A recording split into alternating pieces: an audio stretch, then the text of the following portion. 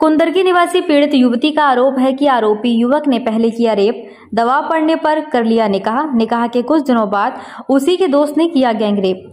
दरअसल मुरादाबाद जनपद के थाना कुंदरकी इलाके का एक मामला सामने आया है, जहाँ की रहने वाली एक युवती ने अपने साथ घटी घटना को लेकर मुरादाबाद एसएसपी कार्यालय पर पहुंचकर इंसाफ की गुहार लगाते हुए एक प्रार्थना पत्र सौंपा है। दरअसल इस दिए गए प्रार्थना पत्र में आरोपी रिजवान पुत्र मोहम्मद इमरान नौसेना, शेखपुर, पंडित नगला थाना मैनाठेर निवासी पर गंभीर आरोप लगाते हुए बताया कि रिजवान ने पीड़िता के साथ शादी का झांसा देकर पहले तो उसका रेप किया, जिसके बाद पीड़िता ने रिजवान के खिलाफ थाना कुंदरकी में शिकायत दर्ज कराई।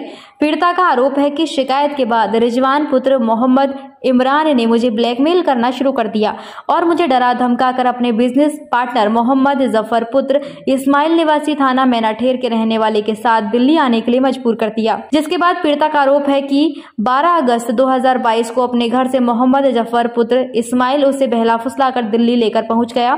वहीं पीड़िता का कहना है कि ज़फ़र मुझको दिल्ली अपने साली के घर लेकर पहुँचा, जहाँ पर पहले से ज़फ़र का साला उसकी साली मौजूद थी। जहाँ उन्होंने मुझे डरा धमका कर मेरा निकाह मोहम्मद रिजवान पुत्र मोहम्मद इमरान से करा दिया, जिसके बाद 31 अगस्त 2022 को कोर्ट से ज़बरदस्ती मेरी कोर्ट मैरिज करवा दी। पीड़िता का आरोप है कि रिजवान ने मुझे धोखा देकर मेरे साथ निकाह कर लिया। पीड़िता का कहना है कि रिजवान पहले से ही शादीशुदा है, उसके तीन बच्चे भी हैं। महिला का यह आरोप भी है कि शादी के बाद रिजवान और ज़फ़र, अरमान और लकी, जुल्फिकार और उसके अन्य साथी रोज मेरे साथ दुष्कर्म करते हैं और मुझे डराते, धमकाते हैं। वहीं पीड़िता का आरोप है कि रिजवान ने मेरे साथ निकाह तो किया, लेकिन निकाह कि कुछ दिनों के बाद मेरे ससुराल पक्ष के लोग लगातार मुझसे पैसों की डिमांड करते हैं। पैसों की डिमांड पूरी न करने पर उसके साथ जमकर मारपीट की गई। इतना ही नहीं, पीड़िता का आरोप है कि उसका पति रिजवान और उसका पार्टनर भी ज़फ़र, उसके साथियों ने मिलकर मेरे साथ बारी बारी के साथ गैंग रेप किया। पीड़िता का कहना है कि उसका पति और ससुराल पक्ष के लोग पीड़िता को लगातार धमका कर उससे अपनी शिकायत वापस लेने को लेकर लगातार धमका रहे हैं जिसके बाद पीड़िता ने मुरादाबाद एसएसपी कार्यालय पहुंचकर आरोपियों के खिलाफ एक शिकायत पत्र सौंपते हुए न्याय की गुहार लगाई है। अब देखना है कि खबर प्रकाशित होने के बाद मुरादाबाद पुलिस इस मामले को लेकर क्या कार्रवाई करती है यह तो आने वाला समय ही बताएगा। सर मैं एस एस पी की आई हूँ अपनी दरख्वास्त लगाने। क्यों आई थी? सर मुझे अपने हस्बैंड के खिलाफ और उनके पार्टनर के खिलाफ रिपोर्ट करवानी थी। क्या हो गया था? सर मेरे हस्बैंड ने मिलकर अपने बिज़नेस पार्टनर के साथ मेरा गैंग रेप किया था। कितने लोग थे? इसमें सात आठ लोग थे। क्यों? कारण उसका? सर पहले मैंने उन पर रेप केस किया था उसके बाद उन्होंने मुझसे निकाह कर लिया था। हाँ। निकाह दिल्ली में किया था उन्होंने। तो वहीं पर मतलब मुझको मारते थे डराते थे। और मेरे साथ गलत करवाते थे। जो मेरे निकाह में शामिल थे सब लोग वही। वही तो- मेरे साथ गलत करते थे। अच्छा तो आपने वहाँ थाने पे शिकायत करी? जी नहीं सर मैं डर डर गई थी।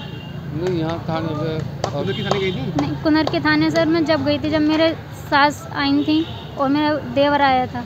मेरे देवर ने मुझे मारा था जान से मारने की धमकी दी थी और सास पाँच लोग पाँच लाख रुपए की मांग कर रही थी। क्यों मारा क्यों था? सर वो मा मैं थोड़ा ऐसी हो गई थी मुझसे जब पैसे मांगे गए थे तो मैंने मना कर दिया था। मैं बोली मैं कहाँ से लेके आऊँ?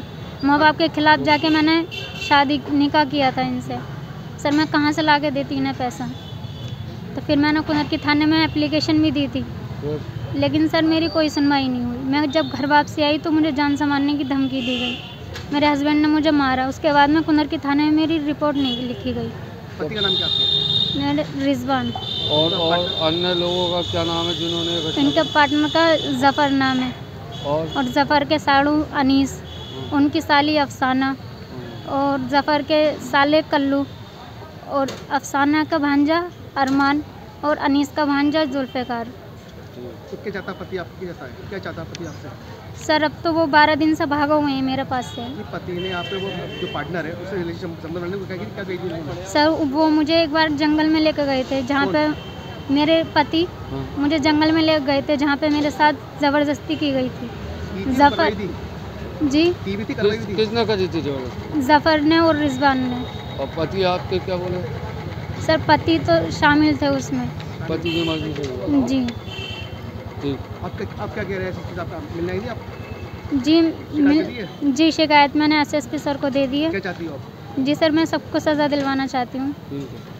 मंगलम सिल्क साड़ी एक प्राचीनतम साड़ी प्रतिष्ठान।